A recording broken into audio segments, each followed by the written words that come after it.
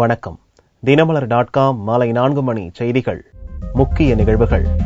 துவம்சம் செய்து கரை கடந்தது ஹூட் ஹூட் புயல். மின்சாரம் துண்டிப்பு மரங்கள் சாய்ப்பு தொடர் கனமழையால் ஆந்திரா மற்றும் ஒடிசா ஸ்தம்பிப்பு. பாகிஸ்தான் மீண்டும் அத்துமீறல். குடியிருப்புகள் மீது குண்டு மழை பொழிந்ததில் மூவர் படுகாயம். இந்தியாவின் பதிலடியால் எல்லையில் பதற்றம். ஹரியானா முன்னாள் முதல்வர் சவுதாலா சிறையில் அடைப்பு. ஜாமீனில் வந்து தேர்தல் பிரச்சாரம் செய்ததால் நீதிமன்றம் நடவடிக்கை. விரிவான செய்திகள். ஆந்திரா ஒடிசா மாநிலங்களை அச்சுறுத்திய ஹூட் ஹூட் புயல் விசாகப்பட்டினத்தில் ஞாயிறன்று காலை கரையை கடந்தது. இதன் காரணமாக பலத்த காற்றுடன் ஆந்திரா ஒடிசாவில் கனமழை பெய்து வருகிறது.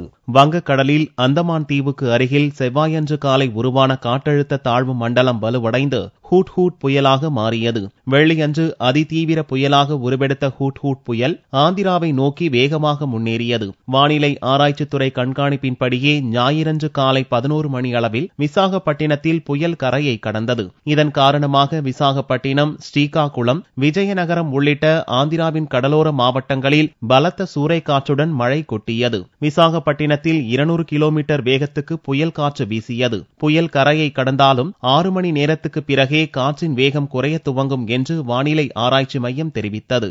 Therefore, at the time of landfall, the wind speed will be 170 to 180, gusting to 195 km per hour uh, over along and off um, uh, East Godavari, Visakhapatnam, Vijayanagaram, and Srikakulam districts of uh, Andhra Pradesh. In addition to that, uh, West Godavari and Krishna districts of Andhra Pradesh and um, Ganjam and uh, Gadapati districts of South Odisha also will have uh, 80 to 90 km per hour wind speed gusting to 100 km per hour at the time of landfall.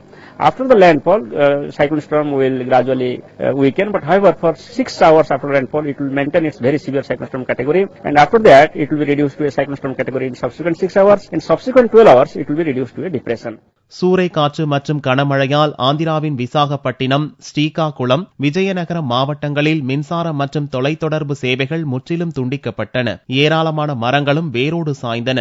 Visakhapatnam Srikakulam மாவட்டங்களில் ஆயிரத்துக்கும் அதிகமான தேசிய பேரிடர் மீட்பு படை ராணுவம் கடற்படை வீரர்கள் படகுகளுடன் மீட்பு பணிக்காக தயார் நிலையில் நிறுத்தப்பட்டிருந்தனர். விசாகப்பட்டினம் கடற்கரை தளத்தில் ஆறு ஹெலிகாப்டர்களும் தயார் நிலையில் வைக்கப்பட்டிருந்தன.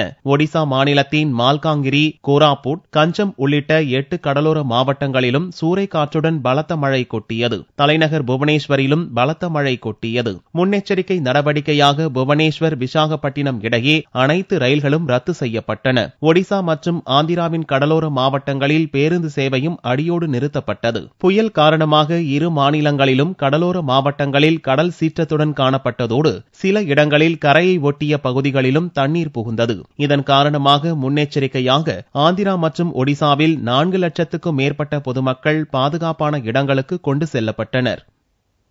ஹூட் ஹூட் புயல் காரணமாக ஆந்திராவில் பெய்த பலத்த மழைக்கு ஒரு பெண் உட்பட இருவர் பலியாகி உள்ளனர். ஹூட் ஹூட் புயல் கரையை கடந்தபோது ஆந்திராவில் ஞாயிறன்று தொடர்ந்து கனமழை கொட்டியது.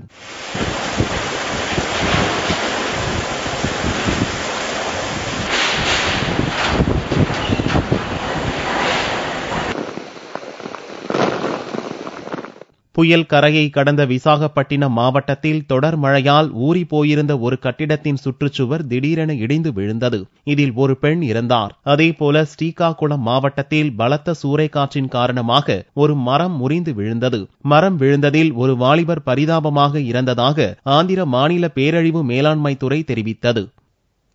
ஹூட் ஹூட் புயலால் தமிழகத்திற்கு ஆபத்தில்லை என்று சென்னை மண்டல வானிலை மையம் தெரிவித்துள்ளது.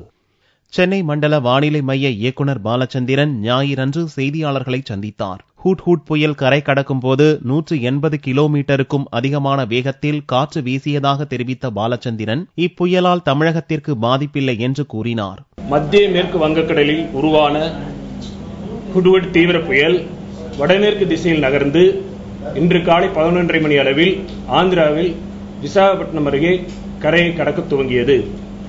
இந்த கரையை கடப்பது மேலும் ஒரு மணி முதல் ஒன்றரை மணி நேர அளவில் நடைபெறும்.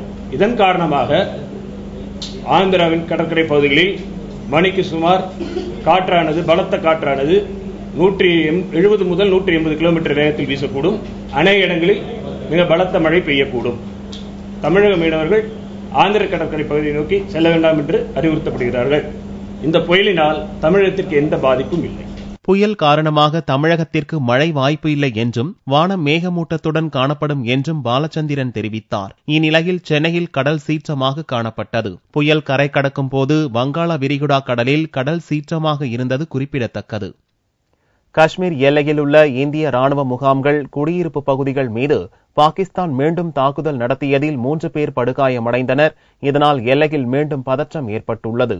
காஷ்மீர் மாநிலம் ஜம்மு மாவட்டத்தில் உள்ள அர்னியா ஆரஸ்புரா செக்டார்களின் சர்வதேச எல்லைக்கோட்டில் அமைந்துள்ள பதினைந்து இந்திய ராணுவ முகாம்கள் மீது சனியன்று இரவு ஒன்பது மணி வாக்கில் பாகிஸ்தானிய ராணுவத்தினர் திடீர் தாக்குதலில் ஈடுபட்டனர். பதிலுக்கு இந்திய ராணுவத்தினரும் தக்க பதிலடி கொடுத்தனர். ஆனால் பாகிஸ்தான் ராணுவத்தினர் எல்லையோரத்தில்